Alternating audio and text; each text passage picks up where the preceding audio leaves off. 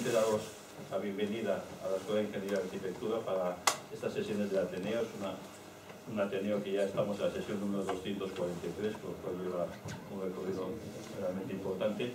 Y hemos pensado iniciar con un tema que es de gran actualidad y además contamos con un investigador de gran prestigio en este campo.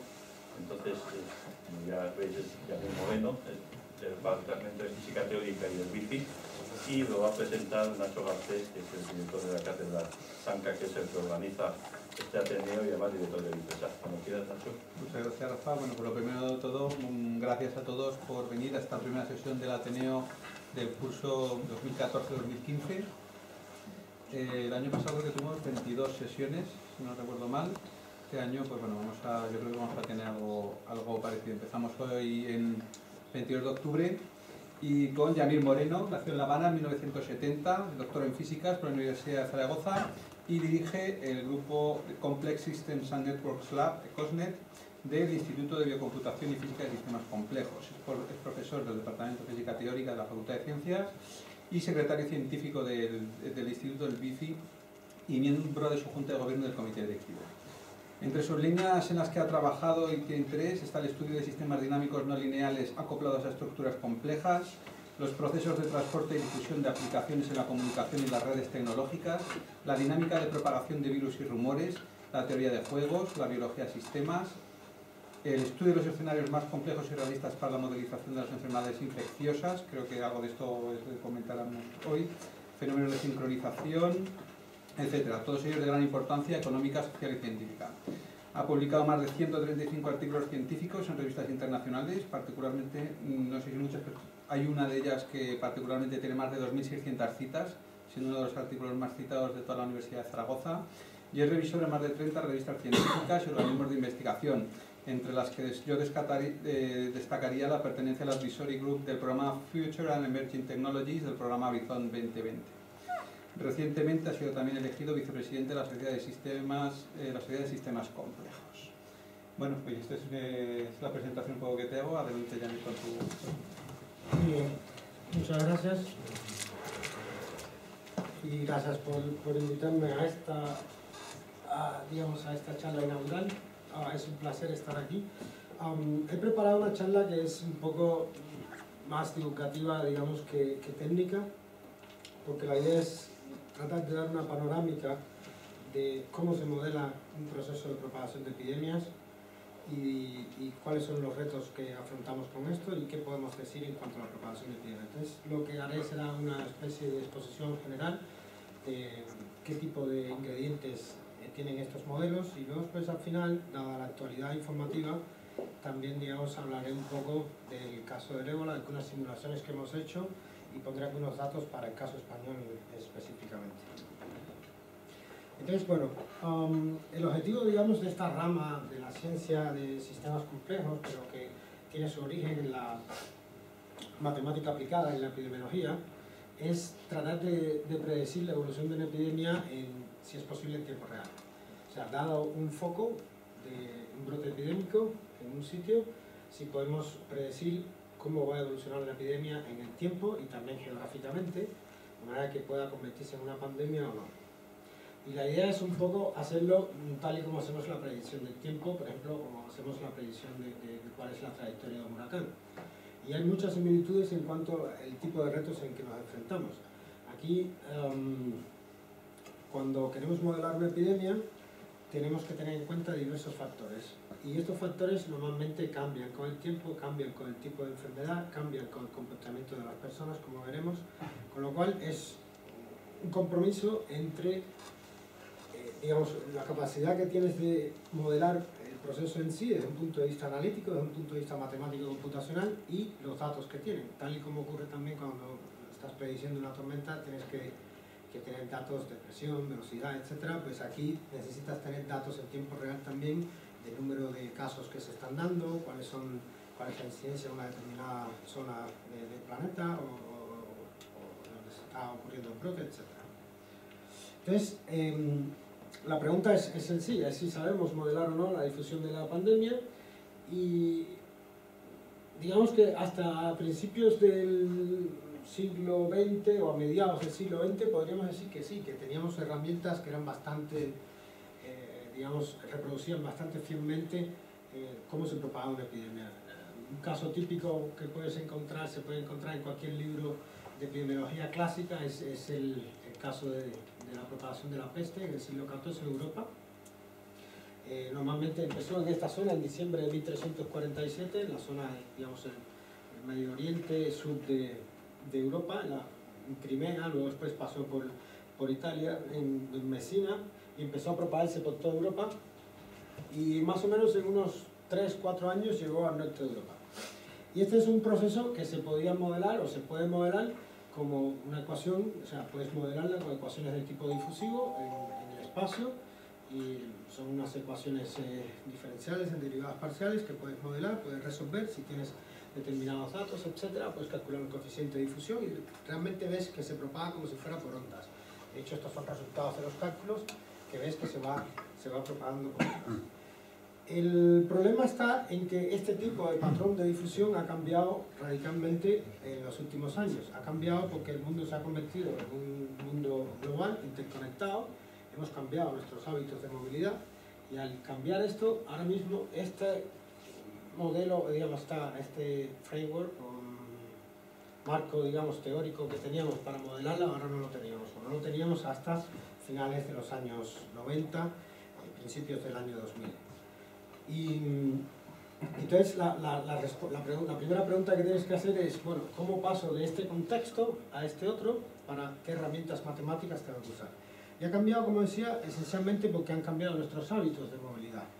Um, aquí, uh, digamos, se ve, uh, es un vídeo donde cada uno de estos puntos eh, corresponde a un avión. Esto es uh, entre las 00 y las 9 horas.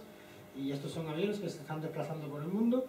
En el tipo de enfermedades que vamos a modelar, los que transmitimos la enfermedad son los humanos, por lo tanto aquí es, puede venir alguien que está infectado y cuando llega a cualquier capital de Europa, pues eh, va a hacer lo que tenga que hacer, y entra en contacto con otras personas y por lo tanto empieza a transmitir la enfermedad.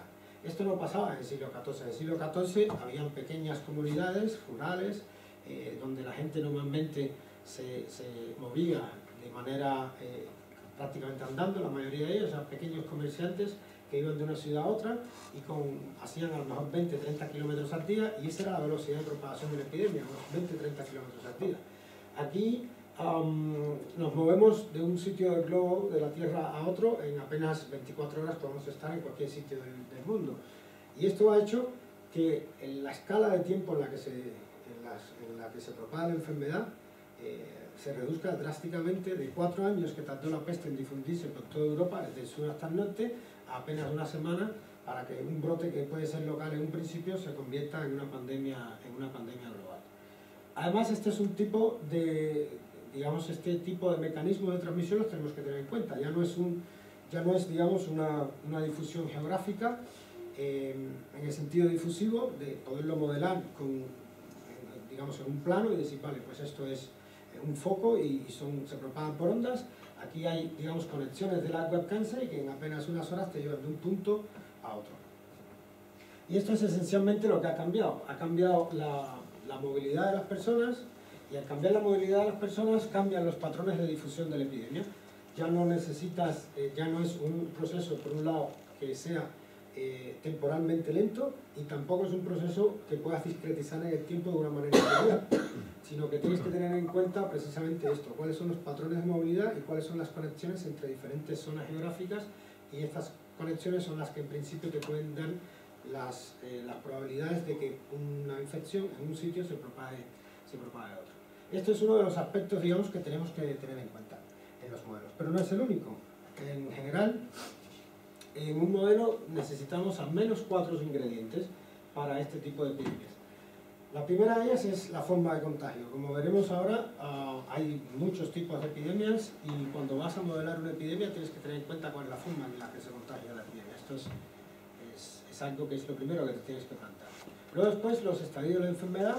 Hay enfermedades como, como la, mayoría de las enfermedades eres susceptible, luego después te infectan hay algunas enfermedades donde pasas un periodo asintomático, donde estás infectado pero no eres infeccioso, y por lo tanto eh, es un periodo, digamos, asintomático desde ese punto de vista. Esto tienes que modelarlo, tiene una escala de tiempo asociada, luego después te conviertes en infeccioso, empiezas a transmitir la enfermedad y luego después puedes volver al estado susceptible, lo cual quiere decir que puede ser una enfermedad, digamos que es, eh, que es eh, no te confiere inmunidad a, ti y por lo tanto puede ser susceptible de nuevo, es caso típico de enfermedades de transmisión sexual, te curas y luego después vuelves a ser susceptible, podrías volver a, ser infectado, o te puede conferir cierto grado de inmunidad, como el caso de la gripe, que normalmente eres inmune a la cepa que está circulando ese año.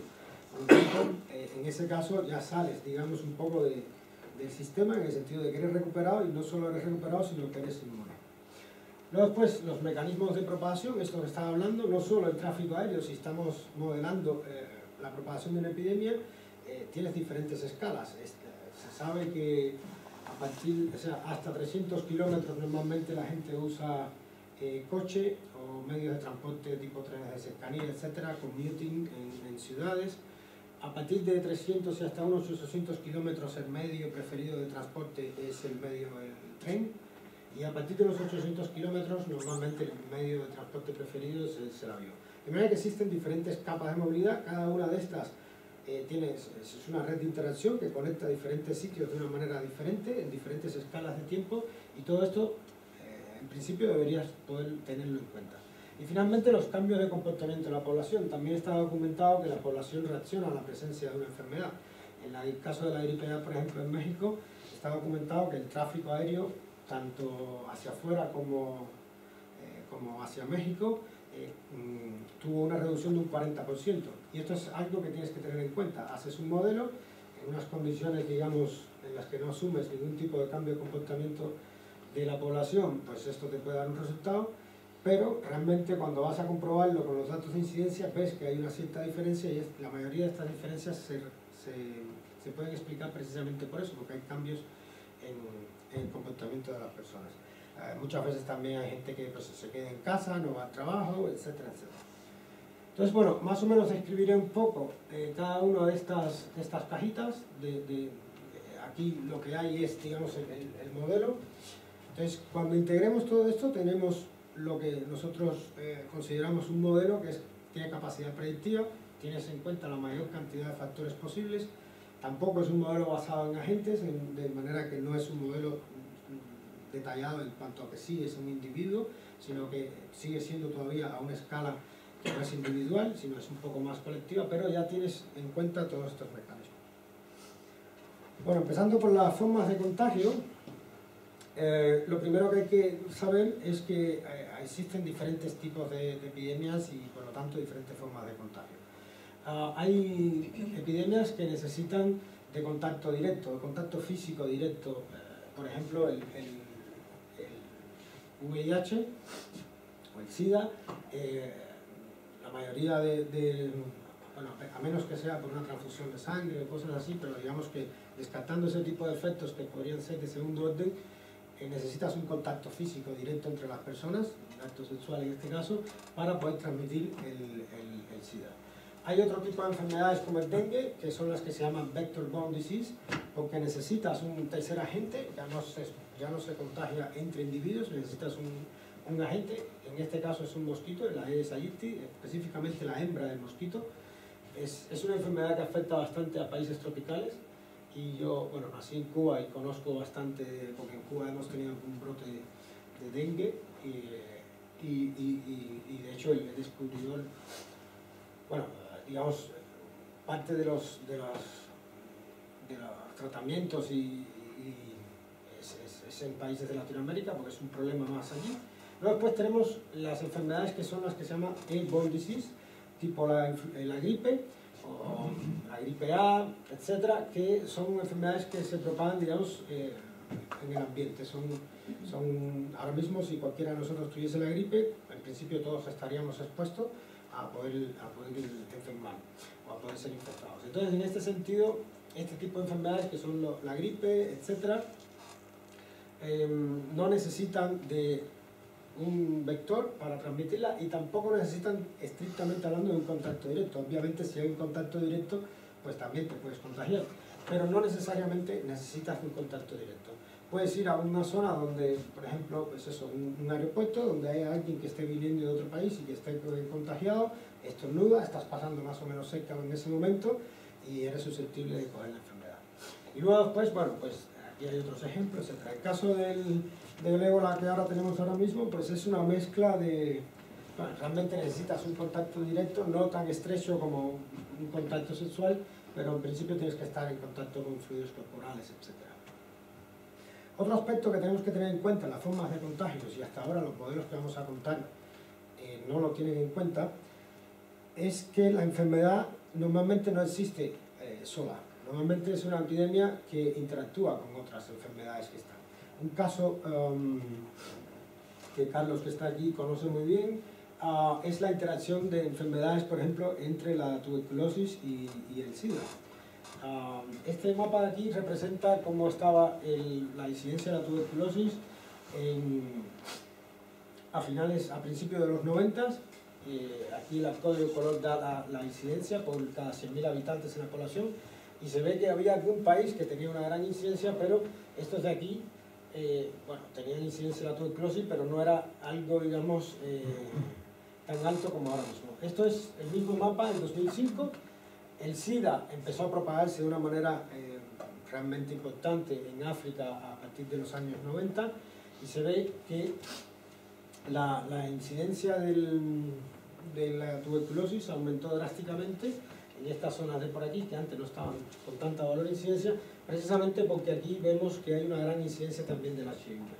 Entonces, cuando vas a modelar este tipo de propagación de epidemias, también en principio deberías tener en cuenta las interacciones con otras enfermedades. No siempre son desventajosas, como el caso de la TB y el, la tuberculosis y el, el SIDA. Hay, normalmente cuando tenemos, digamos, eh, un periodo de gripe, una temporada de gripe, no solo hay una cepa circulante, normalmente hay una cepa dominante, pero hay siempre, normalmente hay más de una cepa de la gripe circulando del mismo año. Sin embargo, no te enfermas tres o cuatro veces de la misma gripe. Normalmente te enfermas de una gripe y porque tienen, digamos, una relación muy estrecha las dos cepas, adquieres inmunidad aquella en la que te has enfermado y esta también te confiere cierto grado de inmunidad, normalmente bastante alto, contra otras cepas que pueden estar circulando el mismo año. De manera que en este caso, que circulen dos o tres cepas podría ser beneficioso, en el sentido de que te enfermas de una y a, más o menos con una alta probabilidad eh, te conviertes en alguien que es inmune también al otro tipo de cepas. Este tipo de factores, digamos, tienes que tenerlo en cuenta. Bueno, poniendo en números un poco eh, esto que se mostraba aquí, se ve que hay una correlación eh, muy alta entre la prevalencia del, del SIDA y el incremento, eh, la tasa de incremento, digamos, en, en, en, la incidencia de la tuberculosis. A mayor prevalencia del, del SIDA, pues hay una mayor, eh, mayor una tasa de incremento. Esas son cosas que tienes que tener en cuenta en modelar. Nosotros, ahora mismo, los modelos que vamos a hacer, son modelos que están pensados para eh, enfermedades que se transmiten por el aire, incluyendo eh, contacto directo, pero vamos a considerar que no hay interacción entre enfermedades. Vamos a considerar que estás como si fuera en un sistema aislado donde hay una población que es susceptible y esta población que es susceptible se ve sometida a una perturbación, que la perturbación consiste en introducir un individuo que está enfermo. Y lo que queremos ver es, dado ese, esa cepa inicial, esa semilla inicial, cómo se propaga la epidemia, tanto en el tiempo como geográficamente. El segundo, digamos, el segundo componente de todo modelo eh, debe ser capaz de describir los estadios de la enfermedad. Y existen varios modelos en la literatura, uno de los más utilizados por su sencillez y porque reproduce bastante bien en las enfermedades tipo la influenza, etc., es el que se llama modelo SIR, que literalmente significa susceptible, infestado, recuperado. Entonces es un modelo donde tienes una población, podrías tener una población fija de individuos eh, que es susceptible si un susceptible entra en contacto con un infectado con una probabilidad beta, eh, el, susceptible eh, se infecta y a su vez los infectados se recuperan ah, con una probabilidad o, una tasa de recuperación gamma y pasan del estado infectado al estado recuperado. Son modelos que se llaman modelos compartimentales porque esencialmente lo que estás asumiendo es que tienes una población y la población está distribuida en estas cajas. Inicialmente la mayoría está en los susceptibles, luego después pones un infectado y hay unas transiciones entre estos estados epidemiológicos. Obviamente también puedes considerar el caso de una población abierta, entonces tendrías que incluir un flujo de, individuos que entran, normalmente pues asumes que es por nacimiento, y también los MU serían la tasa de muerte natural o por otras causas no asociadas a la epidemia que estás modelando, y entonces pues eh, modelas el sistema también de esta misma manera. En principio podrías considerar que te recuperas, adquieres inmunidad por un determinado tiempo y luego después de ese tiempo pierdes la inmunidad y vuelves al estado susceptible. Es lo que podría ocurrir si estuvieses modelando, por ejemplo, la propagación de una gripe eh, en un periodo de 10 años. Normalmente tú adquieres inmunidad de año en año, entonces eh, aquí digamos la escala típica de esto sería de uno sobre un año. Adquieres la inmunidad durante un año y luego después vuelves a ser susceptible para la próxima cepa, etc. Estos parámetros te permiten definir una cantidad de epidemiología es clave y es lo que se llama el número reproductivo secundario, eh, que es este parámetro R0. Prensa en estos días ha salido un artículo sobre esto. Es un parámetro que simplemente te, es un cociente entre cuál es la probabilidad de infectar y la probabilidad de, curarte multiplicado por el número de contactos que tienes. Esta K que está ahí es el número de contactos medios típico que tienes en una situación ideal, digamos, una población bien mezclada. Es, este parámetro simplemente es eso, el número de casos secundarios que genera un infectado en una población totalmente susceptible.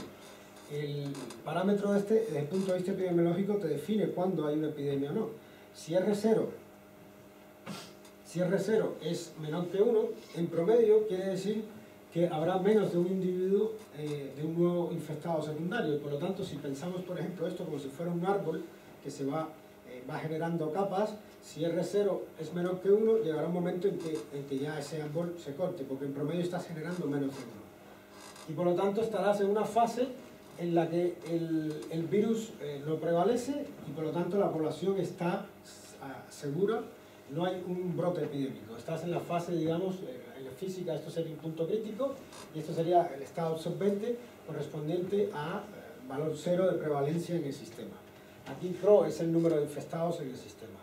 Sin embargo, si este R0 es mayor que 1, eso quiere decir que en promedio generas uno o más infectados por cada uno de los, de los eh, uno o más casos secundarios por cada uno de los infectados. Y eso quiere decir que en este mismo esquema de árbol este árbol va creciendo y como siempre generas en promedio más de uno, nunca se va a parar. Y en principio si continúas un tiempo infinito, pues esto, si la población fuera infinita, este árbol sería infinito y tendrías un brote epidémico con un valor determinado de prevalencia en dependencia del valor de, eh, del ANDA de, la propagación. Este, este, parámetro que está aquí es lo que se llama el umbral epidémico y es central en epidemiología. Es, eh, todos los esfuerzos epidemiológicos están en tratar de poner este umbral epidémico lo más a la derecha posible, puesto que esto implica que hay una zona mucho más amplia donde estás eh, protegido. Para que tengáis una idea, los valores típicos de, en humanos de este valor R0 suele estar entre 1, 1.2 más bien, y hasta 10 podría llegar a ser, en enfermedades que son muy, muy, muy, eh, tienen una transmisibilidad muy alta. Por ejemplo, la varicela eh, tiene un valor muy alto, sarampión, etc. Las gripes normalmente están entre 1.5 y 3, depende cuál sea. El ébola ahora mismo en los datos que estamos usando está entre 1.2 y 1.5, lo cual quiere decir que no se transmite con mucha facilidad, aunque tenga una mortalidad alta, no se transmite con mucha facilidad. Y esto, bueno, desde cierto punto de vista es, bueno. Cuando modelas un sistema como este, realmente el tipo de curvas que puedes obtener son estas. Aquí vemos el número de R's de, individuos que se han infectado y, eh, la curva de, susceptibles, o sea, disculpa, de, infectados, eh, cuando, cuando pasa el tiempo. Y esta es una curva típica de epidemiología, es, una curva cuando estás por encima del umbral epidémico, si estuvieses por debajo del umbral epidémico esto crecería inmediatamente después eh, moriría porque no llega a haber un brote epidémico entonces, lo que nosotros queremos realmente es disminuir lo máximo posible el área bajo esta curva o este valor de R, haciendo medidas de contención, etc.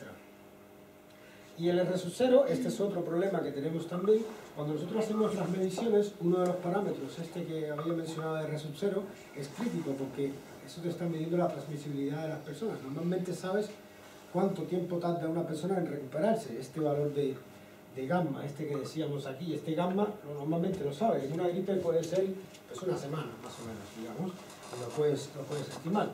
Pero el beta es, muy difícil de estimar. Y normalmente lo que se hace es que se cogen datos de las etapas iniciales de, de la propagación de la epidemia y con esos datos iniciales calibras eh, tus modelos y puedes estimar el valor de reserva.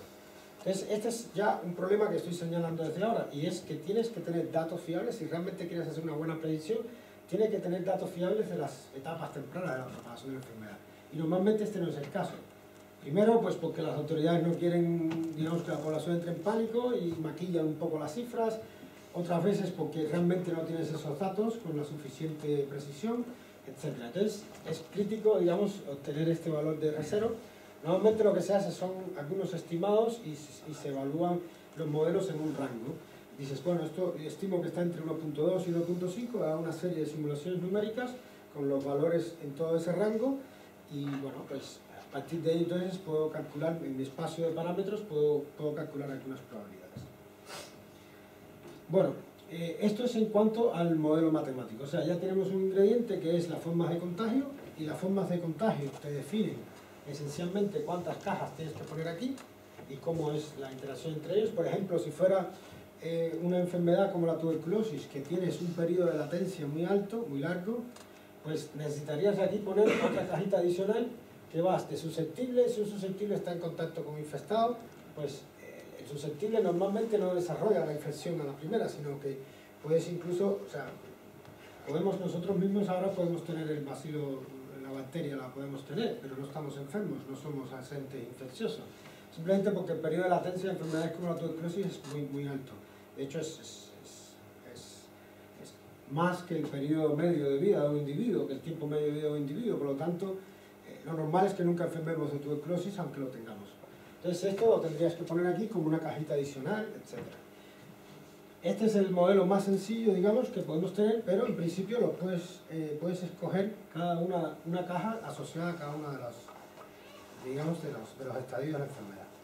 Luego después tenemos el modelo matemático, que es realmente estas, estas, estas cajitas que tenemos aquí, realmente esto se, reduce, se traduce en un sistema de ecuaciones diferenciales porque lo que haces es calcular cómo cambia esta cantidad en el tiempo, cómo cambia esta cantidad de tiempo y cómo cambia esta cantidad de tiempo. es un sistema de ecuaciones diferenciales que en determinadas condiciones puedes resolver analíticamente. Si no puedes resolverlo analíticamente, lo que haces son simulaciones numéricas.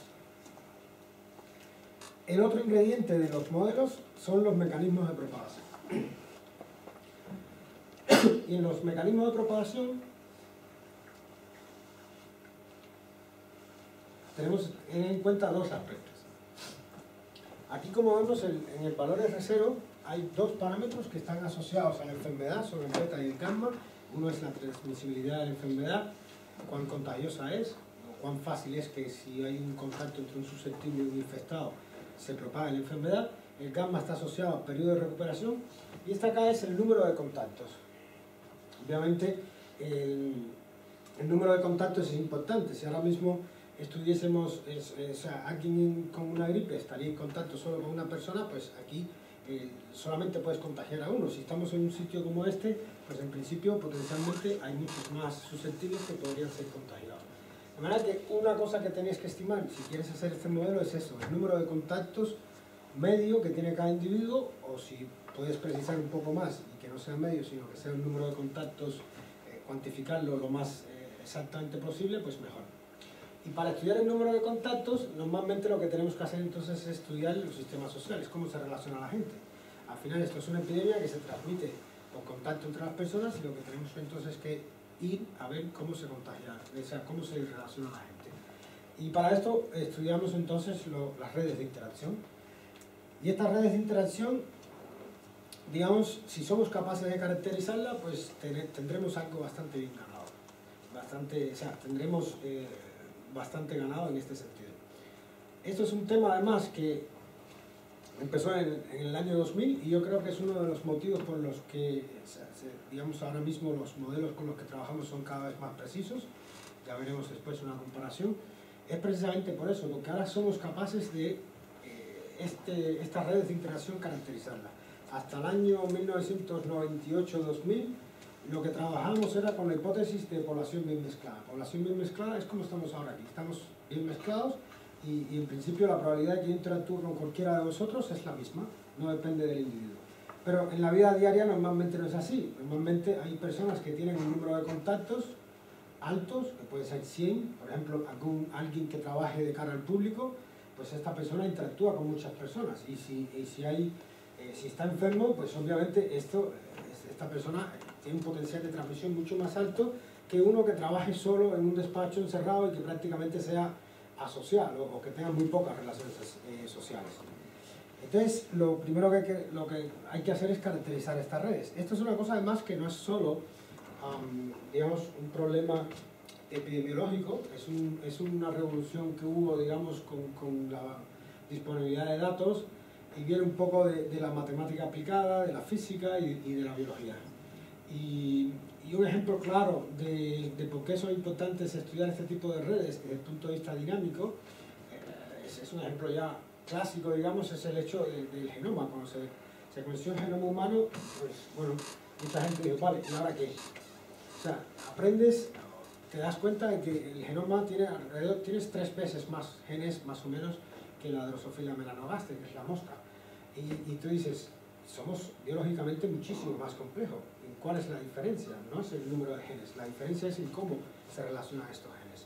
Entonces, eh, tienes que estudiar entonces la interacción de, estos sistemas. Y esto es un campo, digamos, que es abierto, es un campo en el que yo particularmente trabajo y, que afecta a muchas ramas, digamos, eh, de la ciencia. Esto es una, una red ecológica de depredador-presa, esto es una red de proteínas, internet, una red social, etcétera no, no estaré, no, no, me, no me iré por, por, las ramas. Lo único que quería era, digamos, decir que la epidemiología se ha beneficiado también del desarrollo en esta área del estudio de las redes eh, complejas. En particular, por ejemplo, se ha hecho algunos estudios. Este es un estudio que se hizo en Suecia sobre eh, redes de contacto, en, particular redes de, de contacto sexual. Eh, se hizo una encuesta donde se le preguntaron a las personas eh, cuántas relaciones sexuales había tenido tanto en un año como en, su, en, su, vida y si podían dar además el nombre del contacto, pues eh, mucho mejor porque así podías eh, construirte las redes y decías más o menos el año y tal. Entonces, bueno, cuando haces la distribución del número de contactos, esta es la distribución en función del número de contactos, te das cuenta que la hipótesis de población bien mezclada es, es, muy mala. Porque si fuera una población bien mezclada, todo el mundo tendría la misma probabilidad de tener un número de contactos similar. O sea, esto sería una distribución de Poisson, más o menos. Sería una distribución, um, una, una, campana, y tendrías un valor medio bien definido, con unas fluctuaciones alrededor del valor medio que serían pequeñas, etc. Realmente lo que encuentras es que son redes heterogéneas. Son redes donde tienes muy pocos individuos con muchas interacciones y, la mayoría de los individuos tienen muy pocas interacciones. Entonces son redes que son las que se llaman libres de escala, porque aunque formalmente aquí puedes definir un valor medio, realmente las fluctuaciones alrededor del valor medio son muy altas. Entonces el valor medio no te dice nada, no te dice nada que en promedio en Suecia la gente tiene cinco contactos sexuales. No, porque sé que hay, la mayoría tienen uno o dos y hay muy pocos que tienen 100 o 200. Entonces, realmente eso no me sirve para modelar la epidemia. A mí lo que me interesa es la distribución completa. Entonces, este tipo de cosas, digamos, ahora con los datos que tenemos, las podemos hacer. Y luego después, el otro aspecto que es importante para los datos es la movilidad, cómo se mueve la gente. Porque si estuviésemos en un nicho, digamos, geográfico fijo, pues la epidemia estaría localizada. Si no sale ningún infectado de África subsahariana, por ejemplo, ahora, pues nunca vamos a importar eh, el ébola. O, cuando estábamos hablando de la gripe A, siempre que hay un foco de una epidemia, se propaga porque hay alguien que está infectado, que sale de ese sitio, viaja, va a otro sitio y por lo tanto la propaga.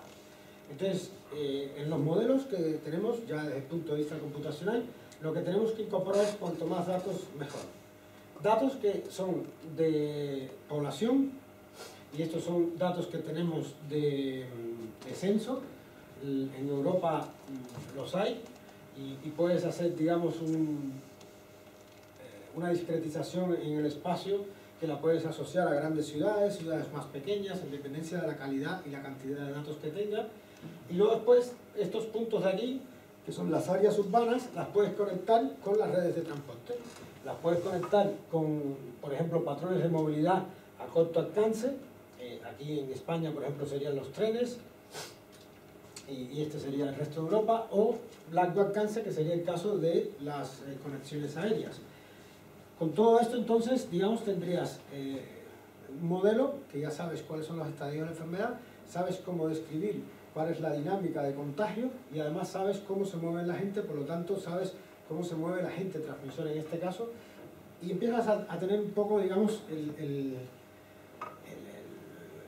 marco teórico computacional bastante completo. hay un problema aquí con, este, con, estas, con estas simulaciones hasta ahora, o sea, con este tipo de modelado, y es que en algún momento necesitas saber datos de incidencia, porque eh, realmente, por ejemplo, para estimar el R0 o, o, para saber cómo se va propagando la epidemia y poder comparar con tus datos, necesitas valores de incidencia. En casos como la gripe es un problema. En casos como la gripe es un problema porque al final los tienes, pero si quieres hacer predicción en tiempo real, los necesitas en tiempo real. No puedes esperar al final de la temporada a que el Ministerio de Sanidad publica normalmente eh, cuáles son el número de casos que ha habido, cuál ha sido su distribución en las comunidades autónomas esto lo tienes y normalmente lo puedes acceder a final de año. Pero eh, si quieres hacer una predicción en tiempo real, lo necesitas estar midiendo. Es como, eh, o sea, tienes que ir calibrando los modelos poco a poco. Entonces, bueno, uno de los proyectos que existen, que es una iniciativa a nivel europeo, y esencialmente es para gripe, es, es un proyecto que se llama gripenet.es, que esencialmente lo que, lo que se le pide a la gente es que reporte sobre su estado, si tiene la gripe o no, y en base a eso puedes ajustar un poco los modelos. No voy a entrar mucho en detalle, simplemente quería, quería mencionarlo pues porque justo ahora empieza la temporada de gripe y, lanzaremos de nuevo, digamos, la web es un consorcio europeo de, nueve partners y cubre desde Portugal hasta, hasta Bélgica, con lo cual ah, se tienen bastantes datos de, de toda Europa. Finalmente hay una cosa que deberíamos tener en cuenta también y que es muy difícil de modelar y es el cambio de comportamiento de las personas es una cierta contradicción. Tú estás tratando de predecir la evolución de una epidemia cuando le digas a las personas eh, que estás prediciendo esto, la propio, el propio comportamiento de las personas te va a modificar tus predicciones. Por eso también necesitamos calibrar en tiempo real. Porque, o sea, le estás diciendo, hay una zona determinada, como podría ser México en el caso de la gripe A, un poco, aunque se, se, se propagó por todo el mundo, o en el caso del SARS, el sudeste asiático, dices, bueno, pues los gobiernos incluso aconsejan no viajar a determinadas zonas cuando hay este brote epidémico, pues esto tiene su impacto en el comportamiento. Hay gente que a lo mejor decide no viajar, que, modifican los flujos de, viajeros, o, hay gente que decide, por ejemplo, si, el, si esta era su ruta, eh, ah, dijo, ah, aquí hay un riesgo muy alto de, de la enfermedad, pues en lugar de ir por aquí, me voy a ir por aquí. Entonces evito pasar por estos sitios y cambio mi estado. Y al cambiar, digamos, la forma en que me muevo, la forma en que me desplazo, y pues entonces también eso tiene influencia en las predicciones. De manera que es un sistema autoadaptativo en ese sentido, donde tú tienes un, un un, nivel, digamos, un modelo nulo, que tienes que ir adaptando en función del cambio de comportamiento. Como decía, en México hubo un una reducción del 40% del tráfico aéreo y son cosas que tienes que tener en cuenta en el modelo, porque si no vas a sobreestimar el número de casos de. Esto de hecho es un ejercicio que puedes hacer. Eh, aquí, esta es una simulación que se hizo solo para el mapa de Estados Unidos. Aquí se asume que no hay ningún cambio de comportamiento y ves que hay zonas donde mientras más rojo es, más mayor incidencia de, de una enfermedad como la gripe. Y ves que hay zonas donde Mm, prácticamente la incidencia es, muy baja. Asumes que hay un cambio de comportamiento que esencialmente lo puedes modelar de dos maneras diferentes. Una es que la gente decide no viajar, se queda en su casa y no viaja con una determinada probabilidad. O eh, simplemente cambias la manera en que, en que, en que, viajas. Eh, si antes viajabas, por ejemplo, en tren o en autobús o lo que sea, o, coges un avión y antes ibas a, a, ir de España a San Francisco y pensabas pasar por Nueva York, pero después te enteras que no, que en Nueva York hay un brote epidémico entonces no quieres irte para Nueva York, entonces haces una escala que se llama en Atlanta o en Miami o coges un vuelo directo, pues ese tipo de cambio de comportamientos tienes que tenerlo en cuenta. Pues esto es una simulación que, que hicimos eh, simplemente modelando estos escenarios y, se ve que hay un cambio en, en, la incidencia en determinadas zonas. Y el cambio en la incidencia eh, se explica simplemente porque hay personas que son asintomáticas, o sea, están infectados pero son asintomáticas, deciden viajar por otras zonas a las que ellos no irían si no, si no hubiese un brote epidémico, entonces inconscientemente por velar por su bien, digamos, están llevando la enfermedad a zonas que no estarían expuestas si no hubiese ese cambio de comportamiento. Es lo que pasa, digamos, en esta zona de aquí. Es una zona a la que normalmente no vas, si, si no vas directamente al sitio, al haber un cambio de comportamiento y en lugar de irte, digamos, por el sur, te vas por el norte, pues lo que pasa es que estás empezando a llevar la enfermedad también al norte y en el sur no hay un cambio significativo. Simplemente, digamos, esta cosa, esta tensión que hay, digamos, entre lo que es mejor para ti y lo que es mejor para el bien común. Piensas en ti, lo que es mejor para ti, pero al final terminas llevando la epidemia a otros sitios donde no, donde no estaría. Entonces, bueno, eh, un resumen, necesitamos bueno, los modelos matemáticos y necesitamos datos demográficos, datos de transporte y, de geografía, cómo se conectan los sitios, etc.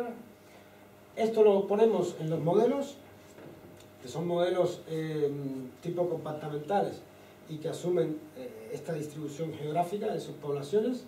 Nosotros no estamos a nivel de detalle de modelos bajados en esas nosotros nos quedamos en este, en este nivel de aquí, donde consideramos que una región urbana es, es, una zona urbana es, es un determinado, eh, tiene una distribución, que, o sea, tiene un, número de, habitantes ahí, que están bien mezclados entre ellos, y lo que están conectados entre sí son las, las, las regiones urbanas a través de las redes de transporte. Entonces, idealmente con esto deberías ser capaz de hacer una predicción Obviamente esta predicción necesitas calibrarla con los datos que vienen en tiempos reales, ajustas tus parámetros y vuelves a empezar. Entonces esto lo que haces es realmente muchas simulaciones, esto es, un proceso, digamos, una dinámica estocástica, cada una de estas simulaciones te da un valor esperado de la magnitud que estás eh, queriendo medir, de la incidencia o del número de casos, etc. Y luego después que haces, muchos, haces muchos, muchas veces eso, eh, Realmente lo que, te, da esto es un espacio de probabilidades donde puedes definir un valor medio, un, valor esperado y, y una, una, desviación. Y esto es precisamente lo que, lo que, tenemos, lo que hemos hecho con unos colaboradores. Eh, o sea, todos estos ingredientes se han puesto en un paquete informático o en un marco teórico computacional, no sé cómo llamarlo, um, que se llama Greenbeast y el tipo de resultados que da es este. Aquí eh, se asumió, esto era para IPA, se asumió que el foco estaba en, en México. Entonces, eh, rojo implica que se va propagando la enfermedad y aquí tenemos las diferentes curvas que, que se van midiendo. Esto vuelve a empezar de nuevo. Entonces, aquí, digamos, son diferentes escenarios que se van, se van simulando. La visualización, digamos, cuesta mucho hacerla, pero no es lo más importante, aunque desde el punto de vista visual es, impactante, pero lo, importante son estas curvas, que son las que tú tienes de número de casos, número de nuevos casos infectados por día, eh, tanto eh, a nivel global como en, una región. Ah, aquí a nivel global, como eh, lo puedes hacer para diferentes regiones, etc. Voy a empezar esto, pero esencialmente asumes que hay un foco y esencialmente estos puntos que se ven que se conectan así son conexiones aéreas que conectan zonas urbanas con otras y, por lo tanto si aquí hay un individuo que está infectado, con una determinada probabilidad este individuo se mueve de un sitio a otro y por lo tanto puede también infectar a, esa subpoblación. Pues este es un modelo, este es un marco eh, teórico computacional porque realmente tienes datos, bueno, tenemos todas estas capas que tenemos ahí, tienes datos de censo, tienes datos de movilidad, y tienes también ecuaciones diferenciales que te modelan propiamente el proceso de propagación. Con esto, ¿qué es lo que se hizo? Pues como en la gripe A no había, eh, digamos, eh, datos en tiempo real, parte del equipo investigador responsable de esto hizo un, estudio a posteriori sobre eh, qué predecía el modelo respecto a lo que después se reveló como, como realidad. Y, simplemente la comparación fue con el pico de la enfermedad. Estas enfermedades normalmente, bueno, lo vimos, tienen un crecimiento, luego después tiene un pico y luego después empieza a decaer. Aquí lo que, está, lo que se dibuja es, eh, de hecho este es el espacio de, de probabilidades, digamos, el rojo implica que es más probable que el pico esté aquí y mientras más amarillo es, es menos probable. Y estos son los datos em, de los sistemas de salud y como se ve, digamos, la predicción fue bastante buena. Diría que eh, la mayoría de los casos fue eh, un error de entre unos pocos días y una semana. Quiero decir que esto puede parecer mucho cuando digo entre unos pocos días una semana, pero hace 5 o 6 años no podías ni siquiera decir unas semanas. Simplemente las autoridades sanitarias ah, lo hacían un poco por el récord histórico. Normalmente el pico de la gripe es segunda semana de enero o tercera semana de enero, pero no basado en modelos que te, que te dijeran eso. Simplemente era casi sentido común, digamos, ¿no? Es una estadística como cuando es el día más cálido del año, pues bueno, empiezas a sacar ahí promedio de temperatura por día y dices, está, pero no tiene ningún modelo atrás. Pues es un poco más o menos lo que pasaba con esto. Pues, ¿qué es lo que hemos hecho recientemente? Pues eh, lo que hemos hecho ahora con este tema del ébola, si uno pone a pensar, eh, los mecanismos de transmisión del ébola realmente son, son similares, son, los mismos. Tú lo que haces es que te, te mueves por unas redes de transporte, si es un, agente infeccioso y entras en contacto con alguien, pues lo puedes infectar. Bueno, esto, eh, digamos, era, es, es una transparencia un poco general, solamente para argumentar el hecho de que el, digamos, el mecanismo de transmisión esencialmente es entre humanos igual, como en el caso de la gripe, necesitas un contacto mucho más directo y es por esto que el R0 es un poco más pequeño que una gripe normal. El R0 en las simulaciones que voy a enseñar las hemos usado, hemos usado un valor entre 1.2 y 1.5 porque no es muy, o sea, la mortalidad es muy alta pero la transmisibilidad eh, no es tan alta, es, es relativamente baja unos datos que tuve el día que preparé la charla del 14 de octubre, pues bueno, estos son los datos de incidencia. Esencialmente lo que tenemos es esta zona, es, es el foco donde estamos ahora, eh, fundamentalmente Sierra Leona y Liberia. Y, de aquí, digamos, entonces, ¿qué es lo que, lo, que, lo que modelamos? Pues lo mismo que hacemos, el foco está en esta zona, de aquí salen individuos que interaccionan con otros, y lo que queremos es modelar un poco cómo podría eso eh, afectar al entorno geográfico, o en nuestro caso, en España. Hemos hecho el estudio eh, para España. Usando este mismo modelo, entonces lo que se puede calcular es cuál es el, riesgo relativo de importar un caso. Entonces, eh, como esto lo calibras con datos reales, lo que hemos hecho es cuál es el riesgo relativo de importar un caso antes del 31 de octubre. esto hace tres días, que se, cuatro días que se hizo, eh, y la proyección era una semana, era hasta el 31 de octubre más o menos, una semana, 10 días. El porcentaje es relativamente bajo, es un 3%. Eh, esencialmente lo que, lo, que, lo que haces es considerar principalmente las conexiones aéreas desde el foco hasta otros países, haces este modelo este que estaba enseñando, entonces, bueno, estos datos los tienes, sabes cuántas son las principales, las principales conexiones aéreas y sabes cuántos pasajeros diarios hay. En esta simulación, precisamente por este cambio de comportamiento, hemos asumido que el tráfico se ha reducido un 80%, algo que está mm, bastante eh, estimado, digamos, es, es, algo que se ha estimado. Y entonces lo que se hace es eso, haces esta simulación y te da un poco cuál es la probabilidad de importar un caso desde esos sitios. Eh, el caso de España es un 3%, es, lo que nos ha dado. Hay, los países de nuestro entorno, Inglaterra y Francia, tienen mucha más, la probabilidad es más alta, no es, eh, digamos, algo como el 50 o el 80%, es alrededor de un 15% eh, en un caso y el 12% en el otro.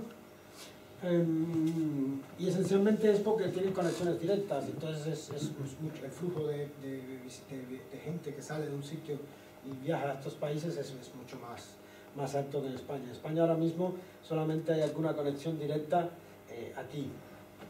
pero eh, con, con, los países de, mayor incidencia ahora mismo no tenemos ninguna conexión directa, con lo cual en ese sentido estamos menos expuestos. Entonces, la probabilidad es un 3%. Dado que se importe un caso, la otra pregunta es, ¿cuánto sería el número de casos secundarios que generaría ese caso que se, que se importa? Y es lo que se representa en el histograma, el tamaño del brote epidémico en caso de que se importe, pues con una probabilidad muy alta del 75%, la estimación es que, que solamente sea ese caso, que no se transmita más. Esto también tendría que ver mucho con los sistemas de salud. Y luego después eh, hay probabilidades, digamos, significativas hasta un brote epidémico de tamaño 7. Eso quiere decir que ese caso de como, o sea, genere otros 7 casos más. Obviamente esto lo tendrías que después calibrar en tiempo real, porque cada uno de estos casos después a su vez podría generar otros casos secundarios, etc. O sea, esto está calculado solo a primeros vecinos, digámoslo así. Este caso que importa es cuánto podría, podría generar. Um, y por regiones un poco también lo que hemos hecho es eh, ver cuáles son las regiones que estarían más expuestas. Pues bueno, como era de esperar, las más conectadas y donde hay mayor densidad de población son las que más riesgo tienen, que son Madrid y Cataluña o Barcelona.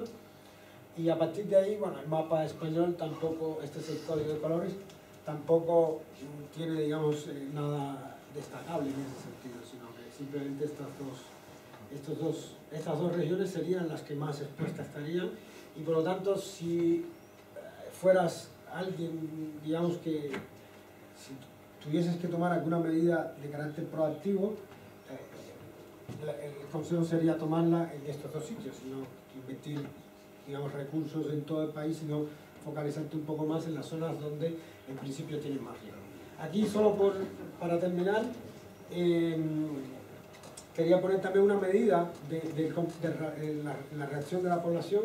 Ahora mismo, eh, pues bueno, está el Twitter, las redes sociales y tal, y simplemente aquí lo que, lo que se ha puesto es el número de tweets eh, eh relacionados con el ébola. Esta es la, la nube de palabras esta que, que le llaman, donde cuáles son las palabras que más se han usado en relación a este caso y el número de tweets y bueno, se ve que la gente enseguida, siempre que hay alguna, eh, digamos, algún caso, eh, pues eh, hay una reacción a la presencia de la enfermedad y estas son el tipo de cosas que, que tenemos que, que modelar. Bueno, yo creo que eso es todo, simplemente pongo aquí un poco la financiación pues, que tenemos para este tipo de cosas. Muchas gracias.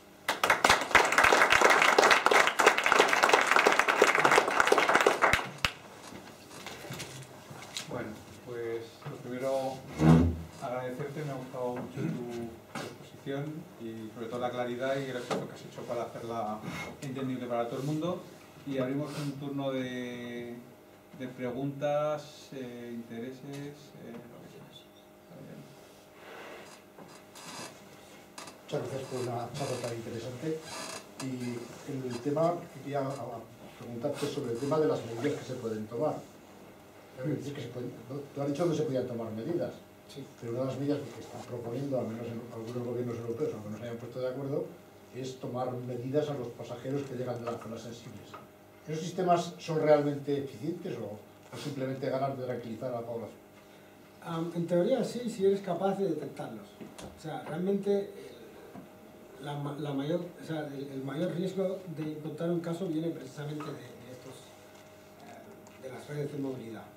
Y si eres capaz de detectar los casos, sí. Yo diría que no es eficiente, pues porque no eres capaz de detectar los casos con un simple eh, medidor de temperatura. O sea, está documentado que, por ejemplo, con la gripe A, en Australia creo que fue, eh, hubo 20 casos que no se dejaron entrar al país porque se sospechaba que tenía gripe A, y de los 20 casos ninguno dio después como positivo, y sin embargo hubo 4 que sí pasaron porque eran en ese momento asintomáticos y luego después desarrollaron la enfermedad una vez que estaban en el país. De, desde mi punto de vista son completamente ineficientes, pero simplemente no porque no, es, porque no sea una buena medida, sino porque la forma en la que tienes de detectar si tienes enfermedad o no, no es, no es la óptima. Si tuvieses una manera inequívoca de decir está infectado o no, es obviamente una medida de contención muy efectiva. De hecho, en este tipo de modelos puedes hacer simulaciones reduciendo, digamos, el flujo de personas. Y el problema que tienes es que el mundo está tan interconectado y tan globalizado que para tener una reducción significativa en el valor esperado de la incidencia de la enfermedad, tienes que reducir muchísimo el tráfico aéreo. Y eso tiene un impacto económico que es inasumible. Por lo tanto, desde el punto de vista práctico, no sería una solución. España ha recibido eh, este año 64 millones de turistas. Los contactos indirectos sobre 47 millones de, de infectables, por decirlo de alguna forma. La, eh, iba a llamarle dentro de mi campo la polinización cruzada que se puede producir. ¿Cuántos casos nos puede eh, llegar a, a producir? Luego, en el aspecto, por ejemplo, en las, las zoonosis o las epidemias que se propagan a través de los, de los de otros seres vivos, el ganado, etcétera, etcétera, hay una medida fundamental que es matar el ganado, ¿no? Aquí no podemos llegar a los extremos, pero ¿cuáles serían las medidas, por ejemplo, medidas profilácticas de desinfección masiva, bueno, sin IVA, pero bueno, desinfección de- en, en los primeros estadios, es decir, todos los que bajan de un avión, para empezar los pasas por vigía y, y seguimos adelante, ¿no? En fin. No, hay medidas que son relativamente Yo digo que hay, hay dos opciones solo, o morimos de ébola o morimos de hambre, porque 64 millones representan, no sé si es el 12 o el 13% del PIB. Sí, no, eh, por eso decía que el impacto económico sería inasumible. No, yo creo que hay medidas sencillas que se pueden adaptar y, y- y son cambios en los comportamientos. Y, y hay, hay sitios donde, donde se hace y medidas que se toman, por ejemplo en Asia, en Japón y tal, son, son muy de hacer ese tipo de cosas. Pero hay cosas, eh, digamos, hay, hay consejos que dependen directamente de las autoridades y que son simples. Por ejemplo, no ir a sitios donde haya mucha concentración de personas en un pico de la epidemia. Esto es una cosa que es, es trivial, pero muchas veces no se dice. Em, de hecho, muchas veces se convocan actos públicos, tipo Interpeña. Sí, exacto. Cuando estás en un pico y dices, pues, bueno, esto no tiene sentido. O, simplemente tomar medidas higiénico-sanitarias muy simples de ponerte una mascarilla, lavarte las manos, etc. Todo lo que sea disminuir esa probabilidad de contagio que poníamos ahí, que es esa beta, al final te, te disminuye el R0. Tanto si asumes ese tipo de medidas, que es, un poco para, dado que existe un contacto, evitar que se propague la enfermedad, como ponerte una mascarilla, etc., o reducir el número de contactos. Si reduces el número de contactos, evitando ir a sitios donde se concentren muchas personas, eh, no debería decir esto, pero no cogiendo transporte público si estás enfermo, o sea, coges tu coche, si lo coges el resto del año cuando estás enfermo, más.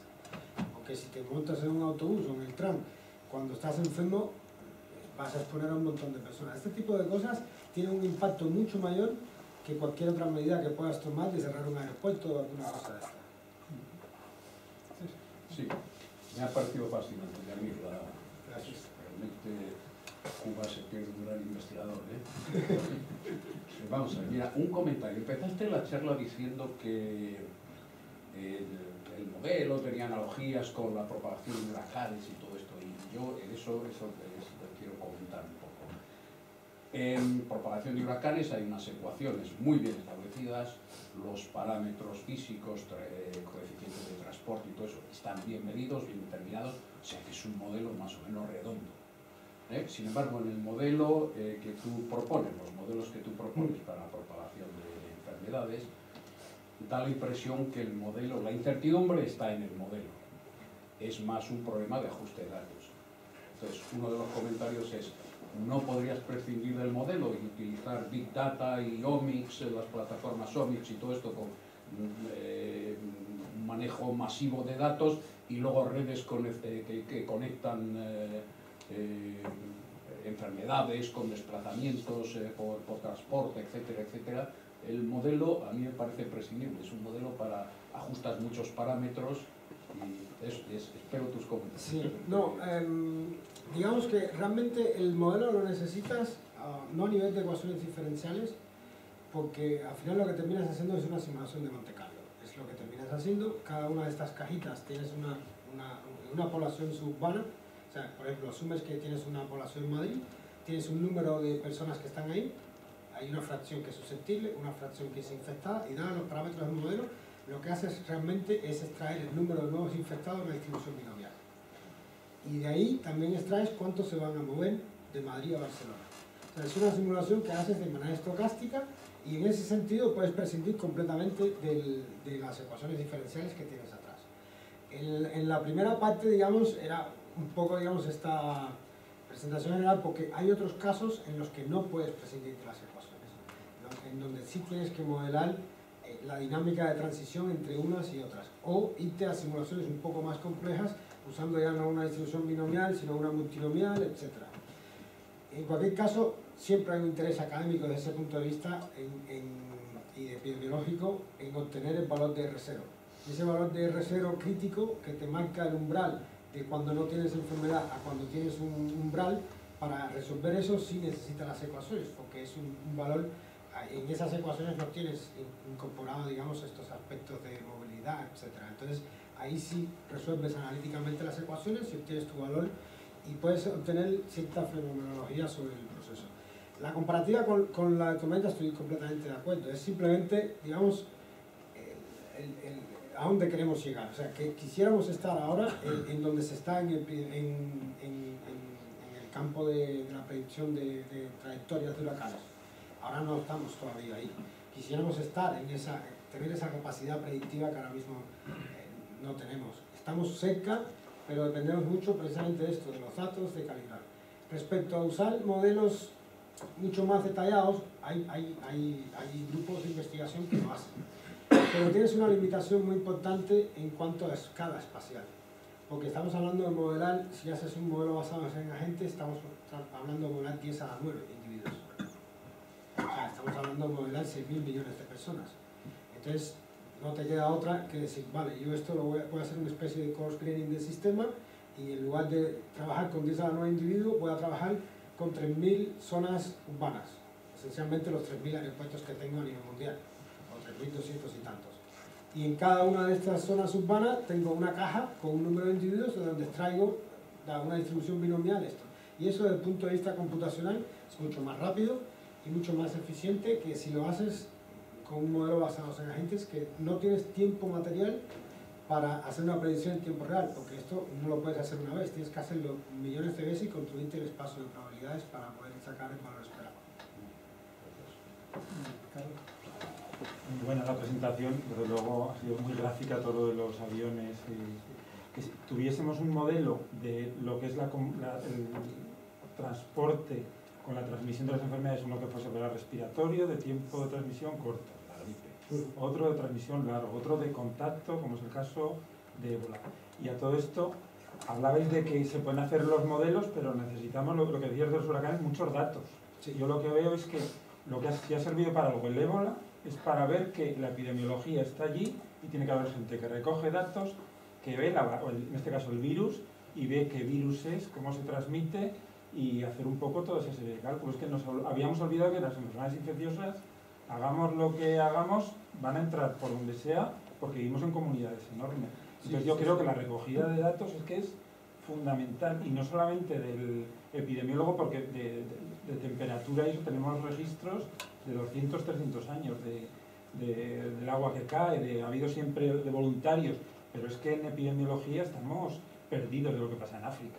Entonces, como había brotes en pequeños poblados que se extinguían, no pasa nada, pero cuando va a una ciudad es cuando vemos... Y este virus ha variado, o sea, este virus ha tenido un cambio y, y en todos tus esquemas no veo yo el, el microorganismo, ¿sabes? Cómo se adaptará. El, de la gripe A sí, que sería que se ha adaptado mucho más. Entonces yo creo que lo que nos falta hoy en día, muchas fórmulas sí, pero también saber exactamente dónde están. Sí, sí, sí, no, estoy completamente de acuerdo. Por eso las predicciones que hacemos aquí en este tipo de... La, las puedes hacer eso, a 31 de octubre, una semana, 10, 10 días vista. Poner a diciembre es, es muy arriesgado. Y aquí el, el aislamiento funciona muy bien, porque tú lo aíslas y ya no va pero sí, no tenemos tratamiento y no tienes vacuna en otro caso y, y, seguro que en tres o cuatro años se va a desarrollar. Entonces, sí. yo creo que si esa modelización existiese y luego se tuviese la intención de mantener esos datos con mucho tiempo, porque ahora es el ébola, pero es que la semana que viene va a ser, bueno, los veterinarios, cuando tengamos un reservorio raro, porque a ver, ¿de dónde va el murciélago? Es que todavía se entierran ahí los cadáveres, ¿de dónde va sí, ese no, ciclo? Y... Es que, a ver, no es porque sea el campo donde estoy haciendo, pero ahora mismo uno de los riesgos a los que se enfrenta la humanidad, digamos, desde el punto de vista de una, una gran catástrofe, eh, riesgo epidemiológico está ahí, porque el mundo está tan interconectado. Otra de las cosas que te enseña esto es que el porcentaje de, de importar un caso en España es del 3%, es pequeño, pero no es nulo. Hasta que no radiques el foco, no estás completamente a salvo. Porque siempre hay una probabilidad no nula de importar un caso de una de estas zonas. por supuesto, no, no es un entrenamiento esto es otra cosa que digo, es un mensaje un poco para las autoridades. O sea, no te preocupes por cerrarte tú, que si no erradicas el foco siempre vas a estar expuesto. No puedes estar cerrando las puertas al infinito, tienes que erradicar el foco. Si no, 3% es poco, pero eh, no es nulo. Con lo cual, Y si dejas al virus, al final se va a adaptar y sí, se va a transmitir como... suficiente para que se Va a cambiar la transmisión, si es que es lo que ha pasado con, con la- el miedo, el terror que tenemos, la gripe, que la transmisión sea con una frecuencia como la gripe y la mortalidad sea como la gripe aviar. Si es que es, y la- las bacterias y los virus se van a adaptar a todo lo que hagamos mal. Y entonces yo creo que ahora estamos todo coste, beneficio, listas de espera, no sé, los epidemiólogos no existen. O sea, no, las enfermedades infecciosas están, están curadas, están, tenemos antibióticos, tenemos, y es mentira de todo. Entonces hasta que, perdón, no ni pregunta ni nada, pero que es verdad, o sea, lo que hace falta es conocimiento de base del microbiólogo, del epidemiólogo, de los investigadores que van a ver las nuevas moléculas, y entonces eso hasta que no lo transmitamos a nuestra sociedad, pues va a haber epidemias de todo. O sea, que eso son de mucho más listos que nosotros, los virus y las bacterias. Estoy de acuerdo, sí, sí. Muy interesante. Eh, una pregunta capciosa. Eh, ¿En qué medida los políticos eh, aceptarían la modelización como regla a seguir que no se les haya ocurrido a ellos?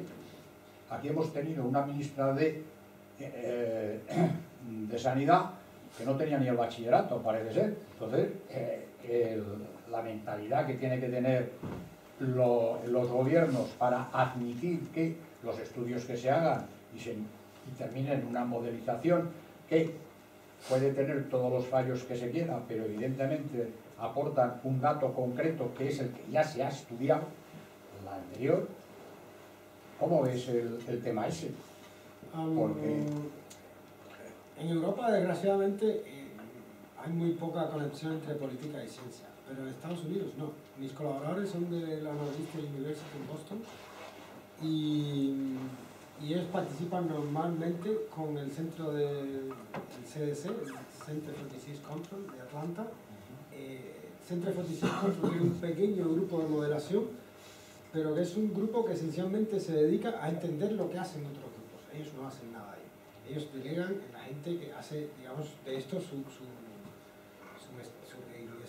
su- su- su business diario, digamos. Entonces, tienes una crisis de esto y los primeros que ellos tienen localizados son tres o cuatro grupos que son capaces de hacer este tipo de simulaciones. Haces una reunión y dices, vamos a modelar diferentes escenarios.